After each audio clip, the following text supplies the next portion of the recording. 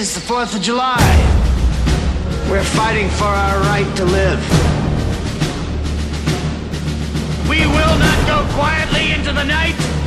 We will not vanish without a fight. We're going to live on. We're going to survive. Today, we celebrate our Independence Day.